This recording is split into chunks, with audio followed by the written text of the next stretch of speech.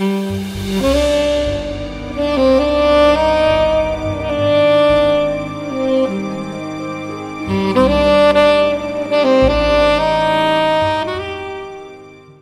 Witness for the Prosecution by Agatha Christie.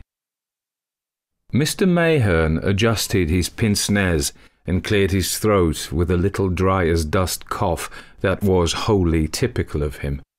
Then he looked again at the man opposite him, the man charged with wilful murder. Mr. Mayherne was a small man, precise in manner, neatly, not to say foppishly dressed, with a pair of very shrewd and piercing grey eyes. By no means a fool. Indeed, as a solicitor, Mr. Mayherne's reputation stood very high. His voice, when he spoke to his client, was dry, but not unsympathetic. I must impress upon you again that you are in very grave danger, and that the utmost frankness is necessary. Leonard Vole, who had been staring in a dazed fashion at the blank wall in front of him, transferred his glance to the solicitor. I know, he said hopelessly. You, you keep telling me so. But I can't seem to realize yet that I'm charged with murder. Murder! And such a dastardly crime, too. Mr. Mayherne was practical, not emotional. He coughed again, took off his pince nez, polished them carefully, and replaced them on his nose.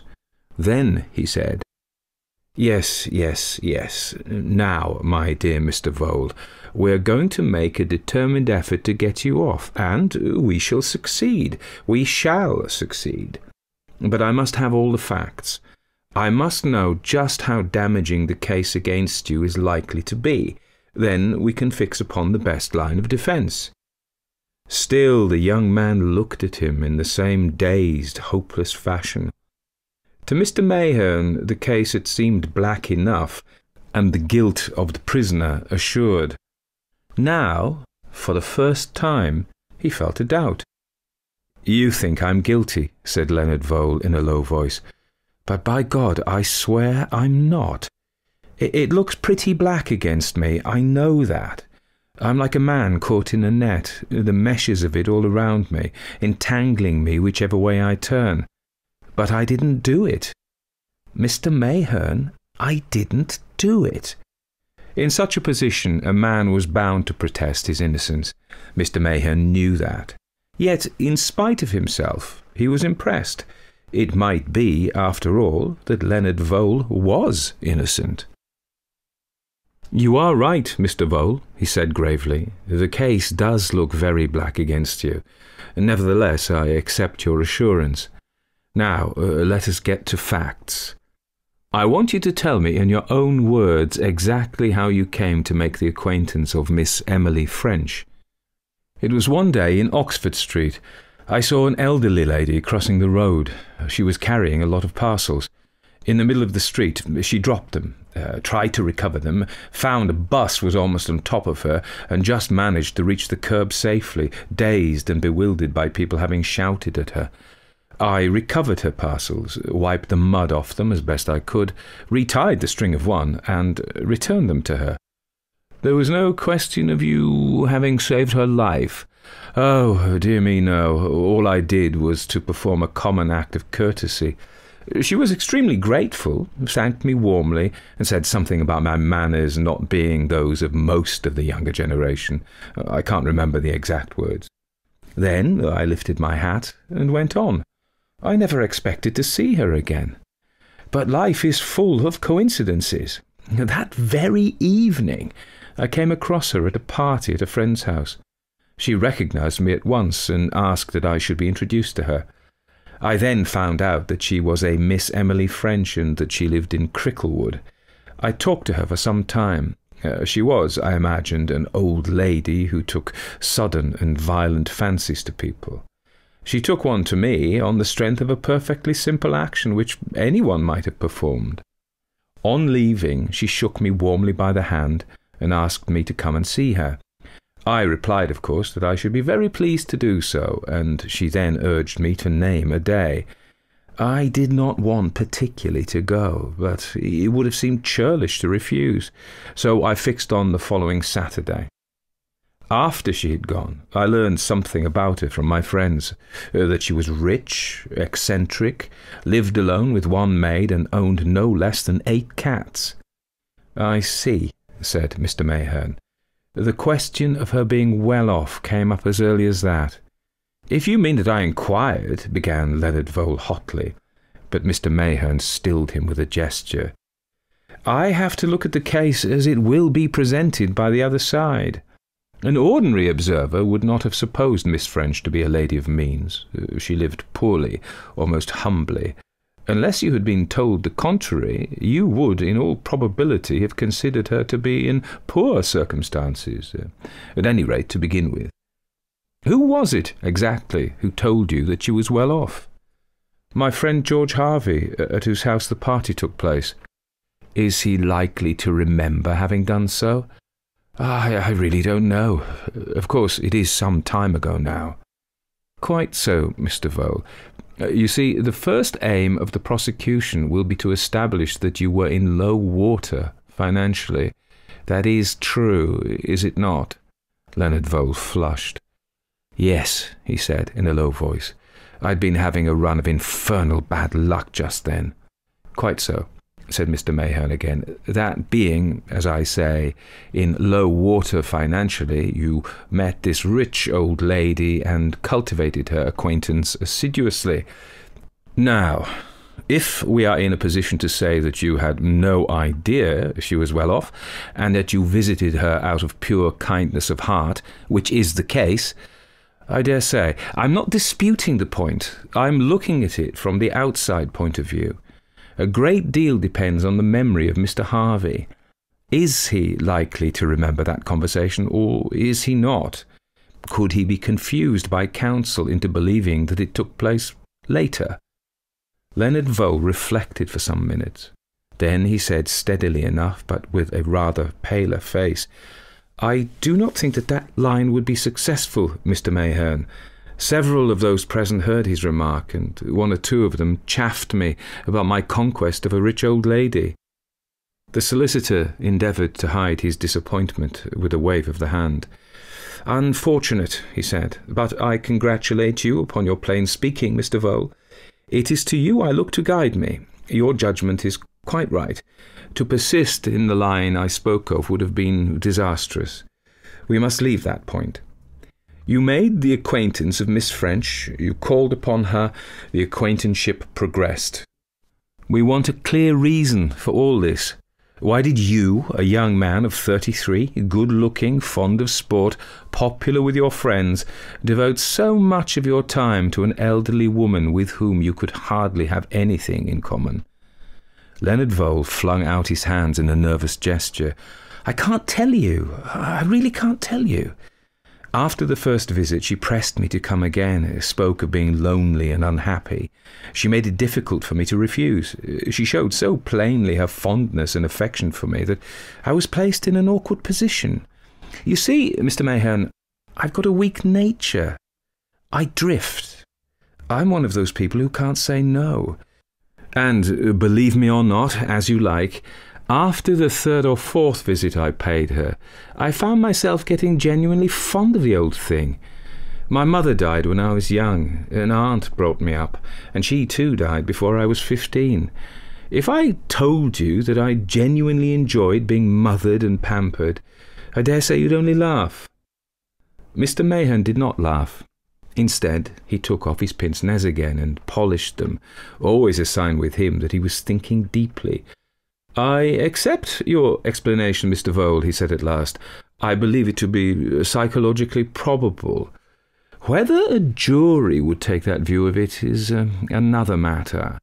Uh, please uh, continue your narrative. When was it that Miss French first asked you to look into her business affairs? After my third or fourth visit to her, she understood very little of money matters and was worried about some investments. Mr. Mayherne looked up sharply. Be careful, Mr. Vole. The maid, Janet Mackenzie, declares that her mistress was a good woman of business, and transacted all her own affairs, and this is borne out by the testimony of her bankers. I can't help that, said Vole earnestly. That's what she said to me. Mr. Mayherne looked at him for a moment or two in silence. Though he had no intention of saying so, his belief in Leonard Vole's innocence was at that moment strengthened. He knew something of the mentality of elderly ladies. He saw Miss French, infatuated with the good looking young man, hunting about for pretexts that should bring him to the house. What more likely than she should plead ignorance of business and beg him to help her with her money affairs? She was enough of a woman of the world to realize that any man is slightly flattered by such an admission of his superiority. Leonard Vole had been flattered. Perhaps, too, she had not been averse to letting this young man know that she was wealthy. Emily French had been a strong willed old woman, willing to pay her price for what she wanted. All this passed rapidly through Mr. Mayherne's mind, but he gave no indication of it, and asked instead a further question. And did you handle her affairs for her at her request? I did. Mr. Vole, said the solicitor, I am going to ask you a very serious question, and one to which it is vital I should have a truthful answer. You were in low water financially. You had the handling of an old lady's affairs, an old lady who, according to her own statement, knew little or nothing of business. Did you, at any time, or in any manner, convert to your own use the securities which you handled? Did you engage in any transaction for your own pecuniary advantage which will not bear the light of day? He quelled the other's response. Wait a minute before you answer. There are two courses open to us. Either we can make a feature of your probity and honesty in conducting her affairs, whilst pointing out how unlikely it is that you would commit murder to obtain money which you might have obtained by such infinitely easier means. If, uh, on the other hand, there is anything in your dealings which the prosecution will get hold of, if, uh, to put it baldly, it can be proved that you swindled the old lady in any way, we must take the line that you had no motive for murder, since she was already a profitable source of income to you. You perceive the distinction. Now, I beg of you, take your time before you reply. But Leonard Vole took no time at all. My dealings with Miss French's affairs are all perfectly fair and above board. I acted for her interests to the very best of my ability, as anyone will find who looks into the matter. Thank you, said Mr. Mayherne. You relieve my mind very much. I pay you the compliment of believing that you are far too clever to lie to me over such an important matter. Surely, said Vole eagerly, the strongest point in my favour is the lack of motive. Granted that I cultivated the acquaintanceship of a rich old lady in the hopes of getting money out of her, that, I gather, is the substance of what you've been saying. Surely her death frustrates all my hopes. The solicitor looked at him steadily. Then, very deliberately, he repeated his unconscious trick with his pince nez. It was not until they were firmly replaced on his nose that he spoke. Are you not aware, Mr. Vole, that Miss French left a will, under which you are the principal beneficiary? What? The prisoner sprang to his feet, his dismay obvious and unforced. My God! What are you saying? She left her money to me? Mr. Mayherne nodded slowly. Vole sank down again, his head in his hands. You pretend to know nothing of this will, Pretend there's no pretense about it. I knew nothing about it. What uh, would you say if I told you that the maid, Janet Mackenzie, swears that you did know? That her mistress told her distinctly that she had consulted you in the matter and told you of her intentions. Say that she's lying. No, I go too fast. Janet is an elderly woman. She was a faithful watchdog to her mistress, and she didn't like me. She was jealous and suspicious. I should say that Miss French confided her intentions to Janet. and that Janet either mistook something she said or else was convinced in her own mind that I had persuaded the old lady into doing it. I dare say that she believes herself now that Miss French actually told her so. You don't think she dislikes you enough to lie deliberately about the matter? Leonard Vole looked shocked and startled. No, indeed, why should she? I don't know, said Mr. Mayherne thoughtfully, but she's very bitter against you. The wretched young man groaned again. I'm beginning to see, he muttered. It's frightful. I made up to her, that's what they'll say. I got her to make a will leaving her money to me.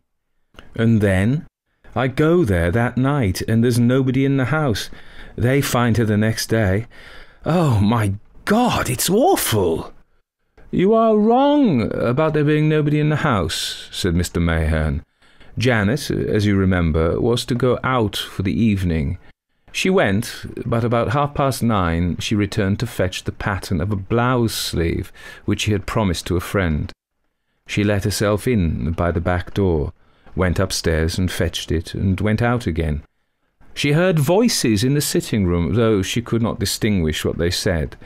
But she will swear that one of them was Miss French's, and one was a man's. At half past nine, said Leonard Vole. At half past nine, he sprang to his feet. But then I'm saved! Saved! Uh, what do you mean, saved? cried Mr. Mayherne, astonished. By half past nine, I was at home again. My wife can prove that. I left Miss French about five minutes to nine. I arrived home about twenty past nine. My wife was there waiting for me. Oh, thank God! Thank God! And bless Janet Mackenzie's sleeve pattern! In his exuberance, he hardly noticed that the grave expression of the solicitor's face had not altered, but the latter's words brought him down to earth with a bump. Who, then, in your opinion, murdered Miss French? Why, a, a burglar, of course, as was thought at first. The window was forced, you remember. Uh, she was killed with a heavy blow from a crowbar, and the crowbar was found lying on the floor beside the body, and several articles were missing. But for Janet's absurd suspicions and dislike of me, the police would never have swerved from the right track. That will hardly do, Mr. Vole, said the solicitor. The things that were missing were mere trifles of no value taken as a blind, and the marks on the window were not at all conclusive. Besides, think for yourself. You say you were no longer in the house by half past nine. Who then was the man Janet heard talking to Miss French in the sitting room? She would hardly be having an amicable conversation with a burglar. No, said Vole, no. He looked puzzled and discouraged. Uh, but anyway, he added with reviving spirit, it lets me out. I've got an alibi. You must see Romaine, my wife, at once. Certainly, acquiesced the lawyer. I should have already seen uh, Mrs. Vole, but for her being absent when you were arrested.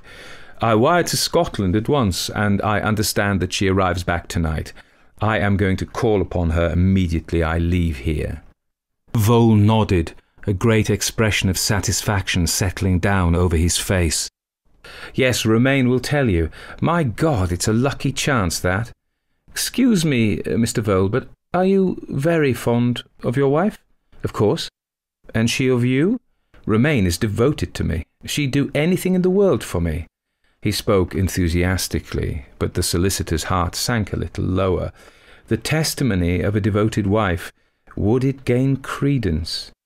Was there anyone else who saw you return at 9.20? A, a maid, for instance? We have no maid. Did you meet anyone in the street on the way back? Nobody I knew. I rode part of the way in a bus. The conductor might remember.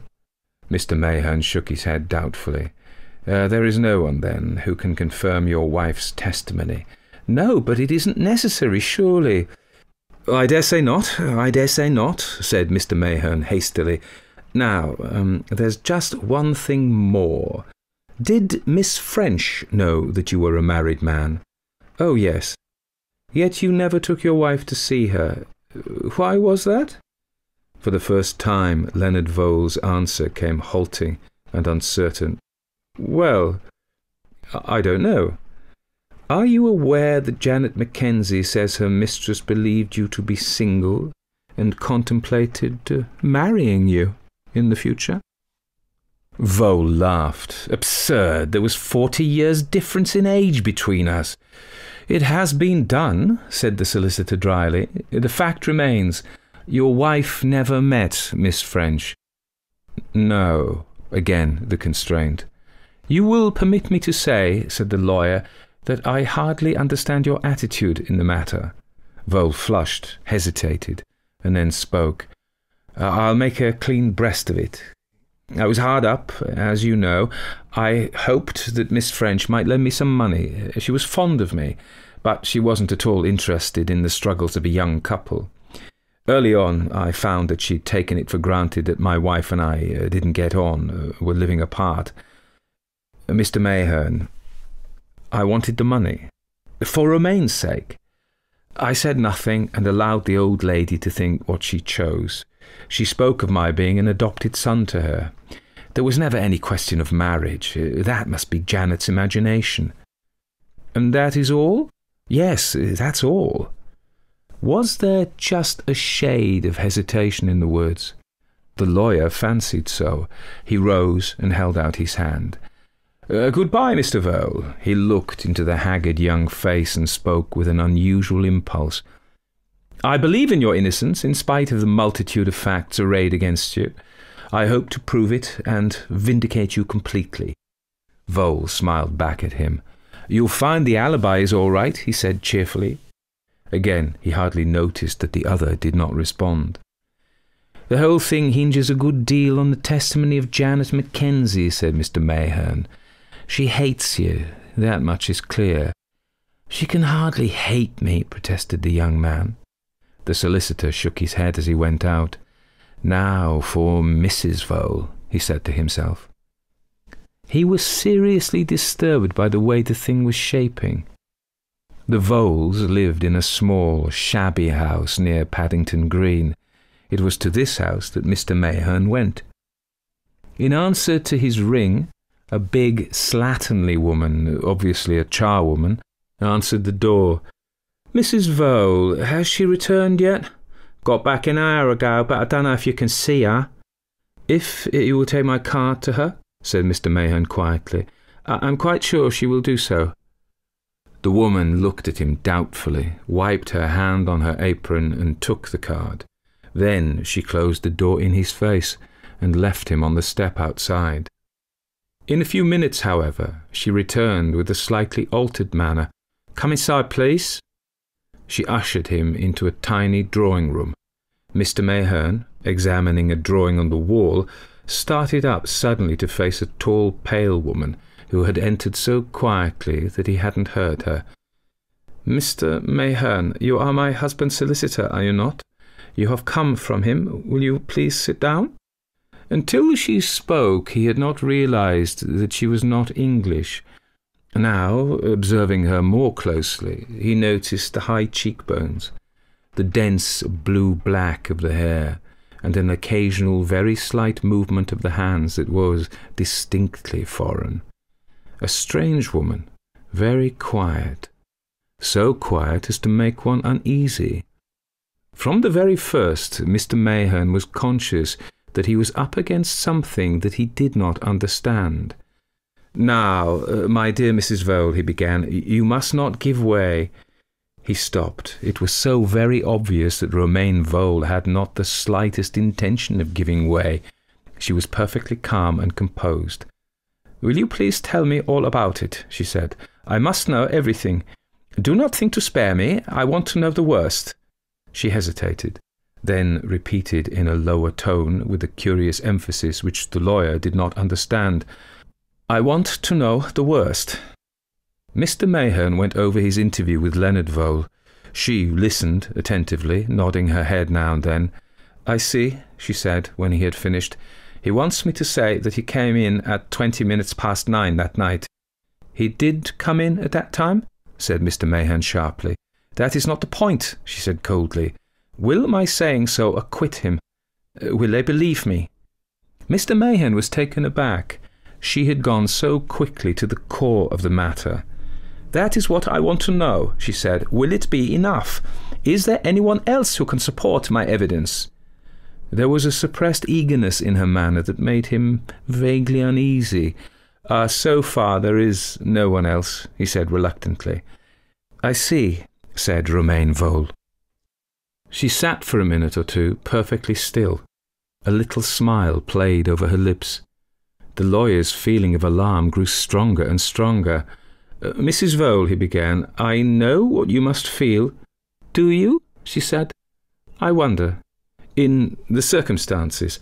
In the circumstances, I intend to play a lone hand. He looked at her in dismay. But, my dear Mrs. Vole, you are overwrought, being so devoted to your husband. I beg your pardon? The sharpness of her voice made him start. He repeated in a hesitating manner, being so devoted to your husband? Romaine Vole nodded slowly, the same strange smile on her lips. Did he tell you that I was devoted to him? she asked softly. Ah, yes, I can see he did. How stupid men are. Stupid, stupid, stupid. She rose suddenly to her feet. All the intense emotion that the lawyer had been conscious of in the atmosphere was now concentrated in her tone. I hate him. I tell you, I hate him. I hate him. I hate him. I would like to see him hanged by the neck till he is dead. The lawyer recoiled before her and the smouldering passion in her eyes. She advanced a step nearer and continued vehemently, Perhaps I shall see it. Supposing I tell you that he did not come in that night at twenty past nine, but at twenty past ten. You say that he tells you he knew nothing about the money coming to him. Supposing I tell you he knew all about it and counted on it and committed murder to get it. Supposing I tell you that he admitted to me that night when he came in what he had done, that there was blood on his coat. What then? Supposing that I stand up in court and say all these things. Her eyes seemed to challenge him. With an effort, he concealed his growing dismay and endeavoured to speak in a rational tone. You cannot be asked to give evidence against your husband. He is not my husband. The words came out so quickly that he fancied he had misunderstood her. I beg your pardon, I. He is not my husband! The silence was so intense that you could have heard a pin drop. I was an actress in Vienna. My husband is alive, but in a madhouse. So we could not marry. I am glad now. She nodded defiantly. I should like you to tell me one thing, said Mr. Mayherne. He contrived to appear as cool and unemotional as ever. Why are you so bitter against Leonard Vole? She shook her head, smiling a little. Yes, he would like to know, but I shall not tell you. I will keep my secret. Mr. Mayherne gave his dry little cough and rose. There seems uh, no point in prolonging this interview, he remarked. You will hear from me again after I have communicated with my client. She came closer to him, looking into his eyes with her own wonderful dark ones. Tell me, she said, did you believe honestly that he was innocent when you came here today? I did, said Mr. Mayherne. You poor little man, she laughed. And I believe so still, finished the lawyer. Uh, good evening, madam. He went out of the room, taking with him the memory of her startled face. This is going to be a devil of a business, said Mr. Mayherne to himself as he strode along the street. Extraordinary, the whole thing an extraordinary woman, a very dangerous woman. Women were the devil when they got their knife into you. What was to be done? That wretched young man hadn't a leg to stand upon. Of course, possibly, he did commit the crime. No, said Mr. Mayherne to himself. No, there's almost too much evidence against him. I don't believe this woman. She was trumping up the whole story but she'll never bring it to court. He wished he felt more conviction on the point. The police court proceedings were brief and dramatic. The principal witnesses for the prosecution were Janet Mackenzie, maid to the dead woman, and Romaine Heilger, an Austrian subject, the mistress of the prisoner. Mr. Mayherne sat in court and listened to the damning story that the latter told. It was on the lines she had indicated to him in their interview. The prisoner reserved his defence and was committed for trial. Mr. Mayherne was at his wits' end. The case against Leonard Vole was black beyond words. Even the famous K.C. who was engaged for the defence held out little hope. If we can't shake the Austrian woman's testimony, we might do something, he said dubiously, but it's a bad business. Mr. Mayherne had concentrated his energies on one single point. Assuming Leonard Vole to be speaking the truth, and to have left the murdered woman's house at nine o'clock, who was the man whom Janet heard talking to Miss French at half past nine? The only ray of light was in the shape of a scapegrace nephew, who had in bygone days cajoled and threatened his aunt out of various sums of money. Janet Mackenzie, the solicitor learned, had always been attached to this young man, and had never ceased urging his claims upon her mistress. It certainly seemed possible that it was this nephew who had been with Miss French after Leonard Vole left, especially as he was not to be found in any of his old haunts. In all other directions, the lawyer's researches had been negative in their result. No one had seen Leonard Vole entering his own house or leaving that of Miss French. No one had seen any other man enter or leave the house in Cricklewood. All inquiries drew blank. It was the eve of the trial when Mr. Mayherne received the letter which was to lead his thoughts in an entirely new direction. It came by the six o'clock post, an illiterate scrawl written on common paper and enclosed in a dirty envelope with the stamp stuck on crooked. Mr. Mayherne read it through once or twice before he grasped its meaning. Dear Mister, you're the lawyer chap what acts for the young feller. If you want that painted foreign hussy showed up for what she is and a pack of lies, you come to 16 Shaw's Rent Stepney tonight. It'll cost ya 200 quid. Ask for Mrs. Mogson. The solicitor read and reread this strange epistle. It might, of course, be a hoax, but when he thought it over, he became increasingly convinced that it was genuine and also convinced that it was the one hope for the prisoner. The evidence of Romaine Heilger damned him completely, and the line the defence meant to pursue, the line that the evidence of a woman who had admittedly lived an immoral life was not to be trusted, was at best a weak one. Mr. Mayherne's mind was made up. It was his duty to save his client at all costs. He must go to Shaw's Rents. He had some difficulty in finding the place, a ramshackle building in an evil smelling slum, but at last he did so, and on inquiry for Mrs. Mogson was sent up to a room on the third floor. On this door he knocked, and getting no answer, knocked again.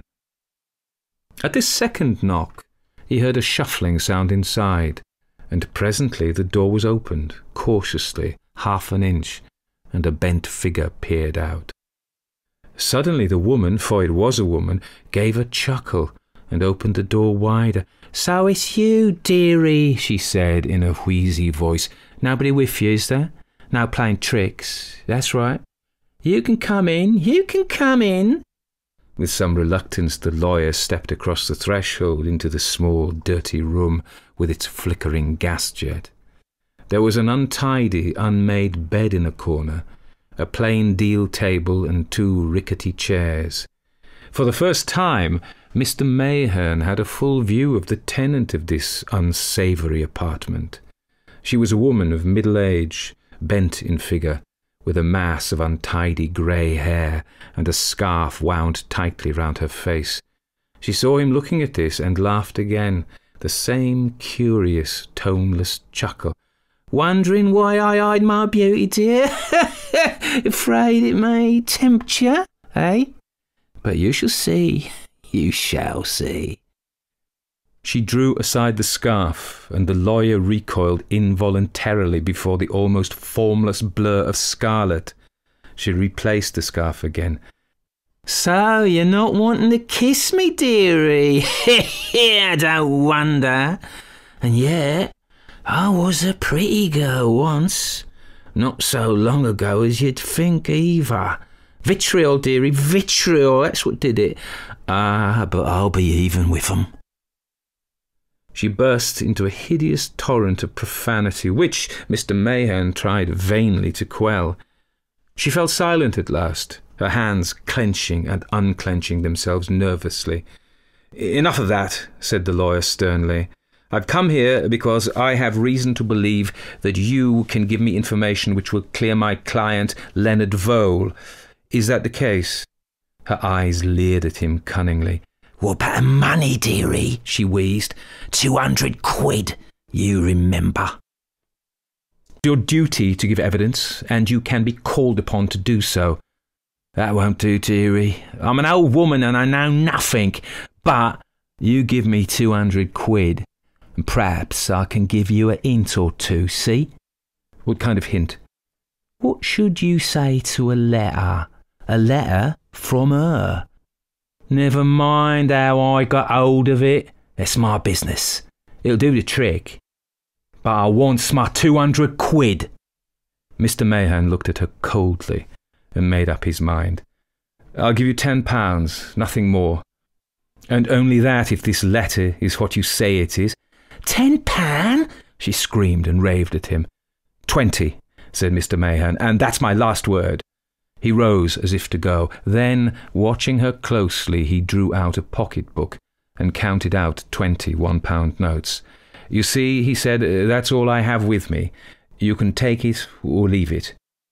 But already he knew that the sight of the money was too much for her. She cursed and raved impotently, but at last she gave in. Going over to the bed, she drew something out from beneath the tattered mattress. Here you are, damn ya, she snarled. It's the top one you want. It was a bundle of letters that she threw to him. And Mr. Mayherne untied them and scanned them in his usual cool, methodical manner. The woman, watching him eagerly, could gain no clue from his impassive face. He read each letter through, then returned again to the top one, and read it a second time. Then he tied the whole bundle up again carefully. They were love letters, written by Romaine Heilger, and the man they were written to was not Leonard Vole. The top letter was dated the day of the latter's arrest, I spoke true, dearie, didn't I? whined the woman. It'll do for her, that letter. Mr. Mayherne put the letters in his pocket. Then he asked the question. How did you get hold of this correspondence? That's telling, she said with a leer. But I know something more. I heard in court what the hussy said. Find out where she was at twenty past ten, the time she says she was at home. Ask at the Lion Road Cinema They'll remember. A fine, upstanding girl like that. Curse her. Who is the man? asked Mr. Mayherne. There's only a Christian name here. The other's voice grew thick and hoarse. Her hands clenched and unclenched. Finally, she lifted one to her face. He's a man that did this to me. Many years ago now. She took him away from me. A chit of a girl she was then. And when I went after him, and went for him too, he threw the cursed stuff at me, and she laughed, damn her. I've had it in for her for years, followed her I have, spied upon her, and there, I've got her. She'll suffer for this, won't she, Mr. Lawyer? She'll suffer. She will probably be sentenced to, to a term of imprisonment for perjury, said Mr. Mayherne quietly. Shut away, that's what I want. You're going, are you? Where's my money? Where's that good money? Without a word, Mr. Mayherne put down the notes on the table. Then, drawing a deep breath, he turned and left the squalid room. Looking back, he saw the old woman crooning over the money. He wasted no time. He found the cinema in Lion Road easily enough, and shown a photograph of Romaine Heilger, the commissionaire recognized her at once. She had arrived at the cinema with a man some time after ten o'clock on the evening in question. He had not noticed her escort particularly, but he remembered the lady who had spoken to him about the picture that was showing. They stayed until the end, about an hour later. Mr. Mayherne was satisfied. Romaine Heilger's evidence was a tissue of lies from beginning to end. She had evolved it out of her passionate hatred the lawyer wondered whether he would ever know what lay behind that hatred. What had Leonard Vole done to her? He had seemed dumbfounded when the solicitor had reported her attitude to him. He had declared earnestly that such a thing was incredible. Yet it had seemed to Mr. Mayherne that after the first astonishment his protests had lacked sincerity. He did know. Mr. Mayherne was convinced of it. He knew but he had no intention of revealing the fact. The secret between those two remained a secret. Mr. Mayherne wondered if some day he should come to learn what it was. The solicitor glanced at his watch. It was late, but time was everything. He hailed a taxi and gave an address. Sir Charles must know of this at once, he murmured to himself as he got in. The trial of Leonard Vole for the murder of Emily French aroused widespread interest. In the first place, the prisoner was young and good looking. Then he was accused of a particularly dastardly crime. And there was the further interest of Romaine Heilger, the principal witness for the prosecution. There had been pictures of her in many papers, and several fictitious stories as to her origin and history. The proceedings opened quietly enough. Various technical evidence came first.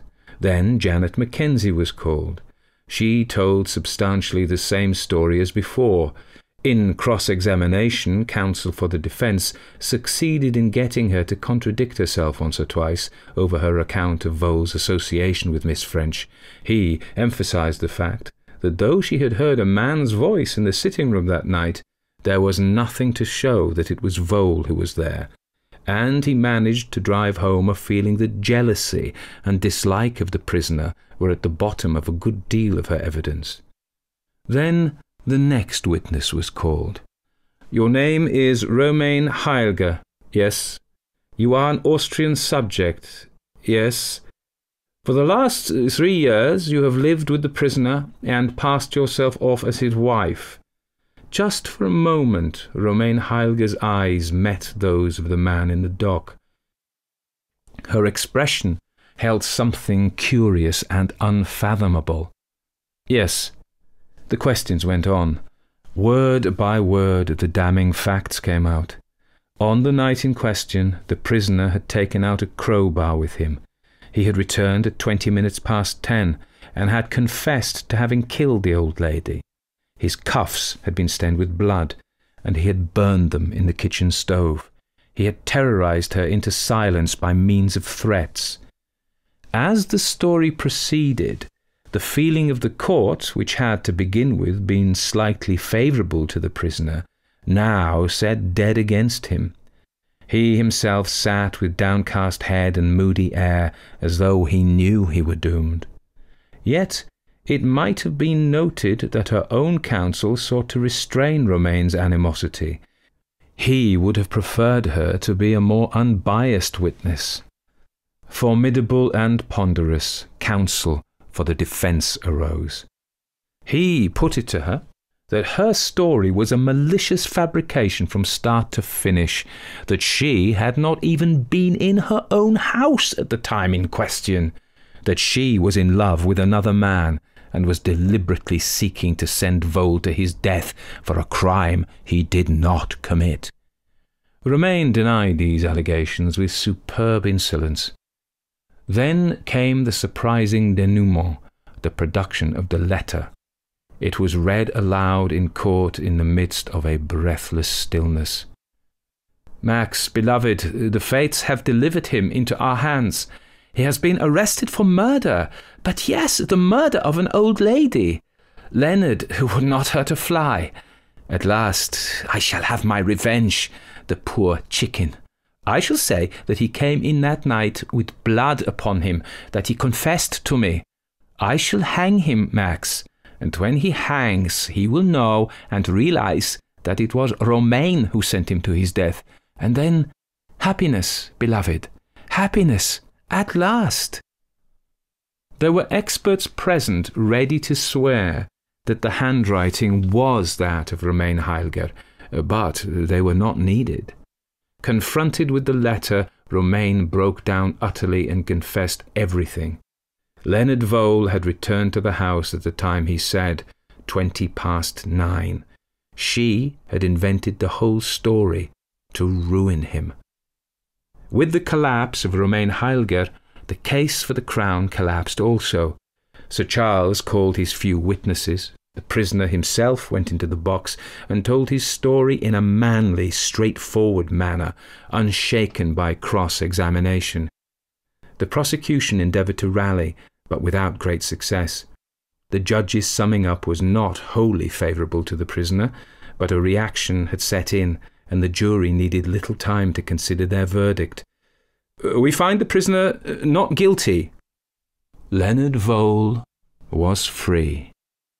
Little Mr. Mayherne hurried from his seat. He must congratulate his client.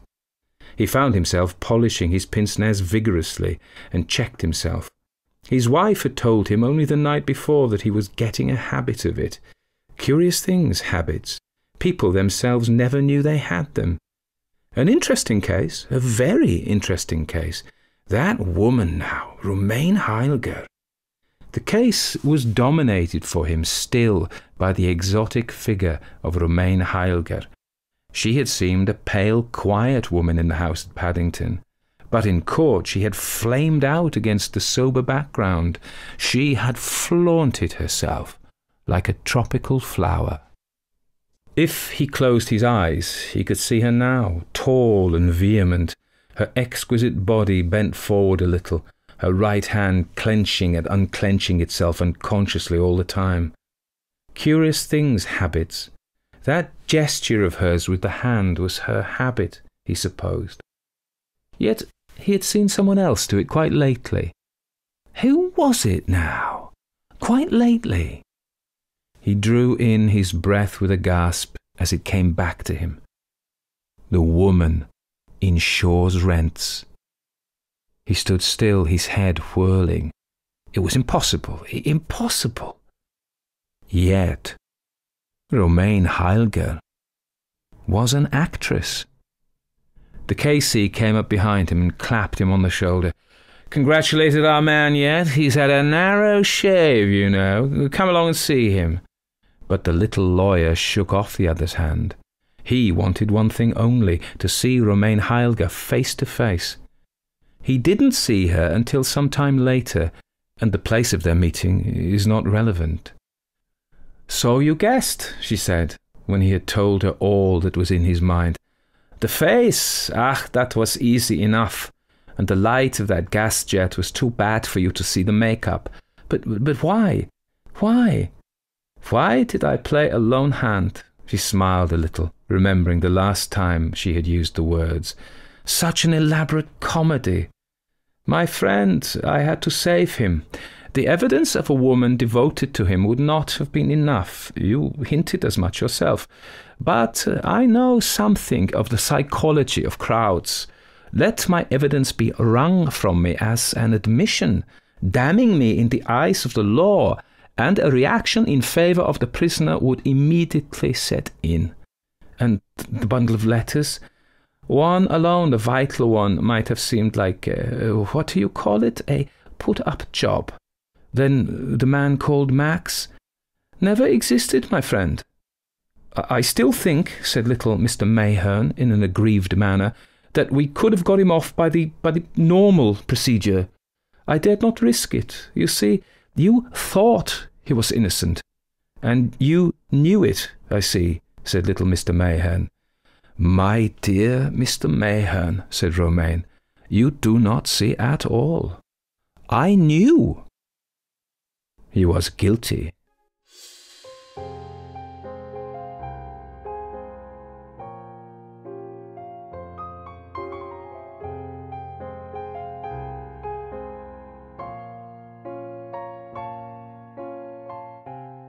Well, there we are. I just you, normally at this point I say something about the story and the author, but I just want to applaud um, Dame Agatha Christie's expertise. That was a fantastically constructed story. I recently saw a dramatisation of it uh, by, with Toby Jones in it, and they, they did it justice. It was very good. But I think the story is better than the. I thought the dramatisation was really, really good, but I think the story is better. Now, let us say something about um, my German accent or Austrian accent. I only have one version of that, like I only have one Irish accent one Scottish accent, one American accent, and I bring them out. I keep them in a drawer and I bring them out to the chagrin and disgust of many listeners. But I can't help myself, so I've got to do it. I mean, I had to do it. I had to do it. Come on. I enjoyed doing it as well. Um, she talks a bit. Who there's one, one one of the characters in my Dracula talks a bit like that as well. Anyway, so let's say something about Agatha. You know it, but I'm going to tell you anyway. It's not just cut and pasted from Wiki, by the way. And if you don't want to hear any of this, just really stop. Don't don't enrage yourself. Life is too short. If you're really upset by listening to me talk about these things, do yourself a favour, and me actually, and stop. All right, just stop listening. Right, but for those of you, my friends, as I like to call you, who are on board with this, because I don't do it for those other people who've now stopped listening. They've stopped, so I can say that about them now. Uh, I don't. I don't do this work for them. Um, I do it for you. Anyway, uh, Agatha Christie, born 1890, died 1976, was an English crime novelist, in case you didn't know, short story writer and playwright, best known for her 66, count them, detective novels and 14 short story collections featuring iconic characters like Hercule Poirot. You can only be grateful he didn't appear, that I didn't have to do my Belgian accent, and Miss Marple, I didn't have to do my posh old lady accent. Hello, dear. Um, born into a wealthy upper middle class family in Torquay, Devon, Christie began writing in the wake of World War I and achieved widespread success with her first novel, The Mysterious Affair at Styles, 1920. She went on to become one of the most prolific, as we've seen, and influential authors of the golden age of detective fiction, penning classic works such as The Murder on the Orient Express, Death on the Nile, and the world's longest running play, The Mousetrap, I remember going to see that in about 1980, and it was very, very uncomfortable. Though it was very hot in the theatre it was in, it was these ragged seating. There's no room for your knees. It was excruciatingly uncomfortable. Uh, which, but the play itself was pretty good. Um, you know, Death on the Nile, The Mousetrap. Her personal life was marked by a mysterious 11 day disappearance in 1926 and two marriages, including a long and happy union with the archaeologist Max Mallowan if that's how you say his name, appointed Dame Commander of the Order of the British Empire in 1971. She is the best selling fiction writer of all time. And you can see it. I've read Christie's stories where I've thought, yeah. But uh, this was great. Um, I thought. Just for the record, at the moment, I'm doing, um, talking about accents, I'm doing The Phantom of the Opera by Gaston Leroux. I'm about just over halfway through it, and hopefully I'll finish it and post it, probably on the Classic Ghost Stories podcast, although you could argue there's a crime in it. Uh, well, I think there is. But um, I, I bring my French accent out in that, not too much, and also my singing voice. What was the point of me saying that? Ah, yeah, the point is, after I finish that, I'm either going to do uh, We've Always Lived at the Castle by Shirley Jackson or The Murder of um, Roger Ackroyd by Dame Agatha. I may go for that one, you know. I may go for that one. Okay. Going back to Agatha, as I call her, Aggie, uh, she was a pioneering and an innovative writer who revolutionized crime fiction. She did with her clever plots, plots, intricate mysteries, and surprising twists. So, The Murder of Roger Ackroyd, 1926, no spoilers, no spoilers, um, contains the first unreliable narrator so you can't trust the narrator. And the convention was, of course, you trusted the narrator in general terms. I think Tristram Shandy, probably one of the first novels, you're not certain if you can trust him, but um, and what he tells you because he's a liar. But um, but in general terms, we the convention was the narrator was a, a voice of authority and to be trusted, and, and uh, Christie subverted that. This twist at the end here I thought was marvelously done. And um, again, it's not a spoiler because you've just listened to the flipping story. I imagine there's no none of you have actually skipped the story. There may be. That would be weird if there was. Who've skipped the story and come to my commentary. Um, but um, that twist, I knew it because I'd come across the story before. But uh, even so, it's so brilliantly done. So brilliantly done. And what is really interesting is the genre switch, if you like. I'm just reading a book by a guy called John Truby called The Anatomy of Genres. And he he talks about the, the cluster of crime genres. First of all, there is crime, where you have generally a, a lawman, usually a lawman, can be a lawwoman, and they they know pretty much who the criminal is. There's no mystery to it in most cases, and they are there, and it's it's a kind of um, a good versus bad battle whereby the power of law, the power of society, the power of right, the ordered balance of society where people are rewarded for doing good things and punished for doing bad things. That's what it's all about, and they're going to punish it. There's no mystery about it. That's the crime novel, John Truby says, the crime story. Then we have um, variants of that. We have the detective.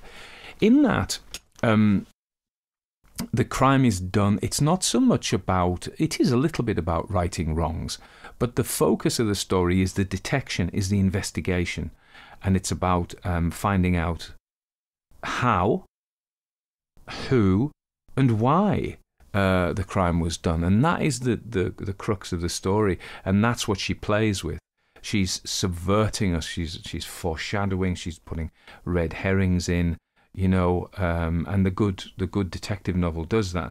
He also talks about um, the uh, I'm going to mention the the thriller. The thriller, he says, is very often, um, she says, no, John Truby says, I'm mixing Agatha Christie and John Truby up here. Um, Truby says the thriller is also very often a um, a detection story. It can be about them uncovering who the, and it often is about uncovering who the criminal is. It can also be that you know who the criminal is, but the thriller, the key thing is that um, the the the narrator, the protagonist themselves, is in deadly danger, and that isn't usually the case in detective fiction. In, as in this story and in most detective fiction, Sherlock Holmes is, is rarely in any serious danger himself. Um, Poirot is rarely any serious danger in most of the detective stories. Whereas the thriller, and when we get into hard boiled, are both slightly different because in many cases, in some of the great cases like Raymond Chandler and stuff like that, we it is a detective story. We are finding out who the criminal is. But in some cases, we know in the hard boiled who the bad guys are. And it's more like a crime story, um, um, but it can be a thriller as well. Do you see? You see the I see the distinction he makes. The final of the quartet of crime genres he talks about is the gangster story, and we see this sort of in um, some like Ocean's Eleven, but also um, I don't know if this is completely true, but the gangster movies like Long Good Friday and. Whereas the gangster, we end up rooting for the gangster a bit. The gangster is the hero, so the criminal is the hero. And I'm only mentioning these well, I'm, I'm not only mentioning, I think it's a really interesting categorization of the, the groups of crime stories that we come across. But, um, but also uh, because this, who is the hero in this? It isn't Mayhew, who we may feel sympathetic towards. He's been duped. He's he's been very foolish, and why? I suppose he begins by not believing the young man, but there's something and I'm not sure this was bottomed out. I think if she'd kind of thrown, and here's me telling Agatha Christie how to write, but I'm, I'm, forgive me, Agatha. Um, but um, if she'd thrown a little bit more light onto his motivation, said he was a, a, a, Christian man or a very devout man or believed, you know, he'd spent his career um, as a human rights lawyer or something. I mean, they didn't have those in the 1920s, but, um, you know, that he was motivated by, uh, I think, uh, to do good to, to you know, if he had a real personal, that would have been kind of more convincing. But in this case, he just, it's not really clear why we're told he doesn't believe him and then he does believe him. Why would you believe him? I think she could have given him a May, Mayhew a bit of a stronger uh, motivation for wanting this this young man to be innocent. But in the end, he's a fool. He's a, he's a dupe. He's a fool. He's an easy mark. Well, he isn't necessarily an easy mark, but he's completely outwitted by the criminals. And so that's why I say that it perhaps falls into the gangster genre because the criminals, in fact, uh, because I, I would say to you, the real hero of this story is Romaine Heilger, who is um, resourceful, intelligent, a talented actress, and in the uh, dramatization, she's very beautiful as well. Um, so, you know, I think, yeah, I think that it is her, it is she. And so uh, the other aspects of the story, probably just to mention, are the the moral ambiguities of the the lawyer in this case. I've got a friend who's a criminal lawyer, and the stories he tells you make your hair stand on end. But uh, over a drink, you know, um, and yeah, so in many cases they they may know or suspect that their client is guilty, and perhaps the other way around. That if they're for the prosecution, they may know or suspect that their client is innocent, but their their their job is to is to put them away, prosecute them. You know, um, because of the adversarial. Because I suppose in the in the uh, English common law tradition, which includes the just justice systems of I hate to say it, but the ex-colonies. I know you don't like us saying that, but um, but um, you know that have inherited English common law, such as Canada, Australia, uh, the US, um, New Zealand. You know, we could go on. That that it is adversarial, whereas in some some countries it is uh, inquisitorial. So they're trying to find out the truth, whereas our systems are about one side trying to beat the other side almost in, in a gamified way. So the moral ambiguity of what do you do? It's a really interesting question. You may suspect your client is either innocent or guilty, but your role may be uh, not interested in the truth, but interested in a particular result. Uh, and then, of course, the final thing to say. And remember, Christie's a woman, and she was a very successful woman novelist. She wasn't the first because we have uh, Mrs. Gaskell. We have a lot of uh, successful female Victorian novelists before her time. Ann Radcliffe, yeah, going right back to Gothic times. But um, that I think she uses it. I just, I mean, so much admiration of Agatha Christie for this story. She uses the idea. You remember that in the 1920s, the the pub reading public would have pre, as we do uh, in our own way, um, prejudices, and so they would expect a woman, a wife, to play perhaps a subservient role in a story anyway, if not in real life. And um, she doesn't. She is the, the, the genius behind it, really. He, he just comes over as the, the hitman, and she is the brains, if you like, uh, and the talent. Uh, Romaine Helga, Helga, I mean. Um, and so she that was a, must have been a great twist that this woman who would they would have expected to be in a secondary role turns out to be the master genius behind it all. And also, very interestingly, she's an actress. She is a bigamist. She's not a bigamist, but she's living in sin because she couldn't. Her, her, first husband's in a madhouse. So I suppose that lets her off the hook a bit. It would have been actually made her even more morally ambiguous if uh, he'd been she just abandoned him. But you know she has the kind of the fig leaf that the poor man's ill, so therefore, and she can't be expected to be faithful to him, etc., etc. In a far country, and be- besides, he's dead. He's not. But you know, um, but she's a morally ambiguous woman who uh, doesn't behave as a trad wife. So uh, great story, and I think the power of that is she just deploys that. And that's going to be, whoa, it's kind of surprising to us, but to them it would have been like, whoa. Not that I don't think actually that people have changed that much, and although society might have expected uh, the wife to be like that, I think about the women in my family, my grandmother, my great grandmother, who lived, who were, you know, my great grandmother was born in the uh, in Victorian times, uh, my grandmother in Edwardian times, and uh, they were tough women who ruled the men of the house, you know. So uh, people haven't changed very much, but society's expectations change. You know, that's just the way it is. Anyway, great story, I thought. look out for Roger Ackroyd. Okay, final final point. Why am I doing these Christies and Sherlock Holmes? I'm going to be really honest with you.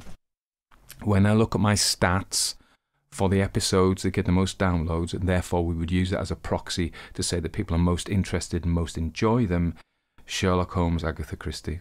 Yeah, so Conan Doyle, Sherlock Holmes, and any Agatha Christie seem to hit the mark. So I'm just going to keep serving those up until I'm bored of them. Uh, the Americans is different. I will keep getting Americans to do the Americans, the, the hard boiled, which is the other great love of mine.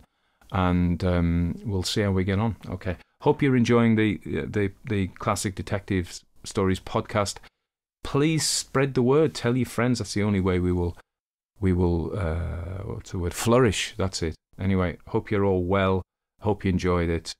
Hope you enjoyed my chat, and hope if you didn't enjoy my chat, you switched off long ago and are now asleep or watching, listening to the Old Gods of Appalachia or or some other worthy podcast.